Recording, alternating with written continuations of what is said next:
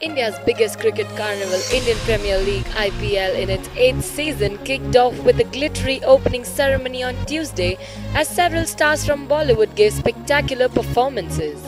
While Bollywood celebrities Hrithik Roshan, Shahid Kapoor, Anushka Sharma performed at the IPL 8 opening ceremony, it was hosted by none other than the handsome hunk Saif Ali Khan. However, the presence of Kareena's husband Saif did not go well with Shahid as he quite evidently avoided him at the ceremony. Though Bebo and Shahid have always boasted to be on amicable terms post their breakup, this situation turned to be dicey for these two studs of the B-town. Apparently, though they maintained a brave front for the public, the two stars are said to have avoided bumping into each other through the evening. Reportedly, Shahid, Hrithik, Anushka and Farhan were having a blast backstage.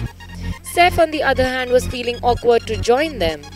It was only when Shahid left did Saif join them and so on. Well, awkward or not, the stars certainly don't harbour ill feelings towards each other. That is sure from the fact that Bebo and Shahid are all set to shine in Udta Punjab, isn't it? What do you think? Like this video, write in your comments. You can now click on the link given in the description below to download the official Bollywood Backstage app for the latest news and gossip.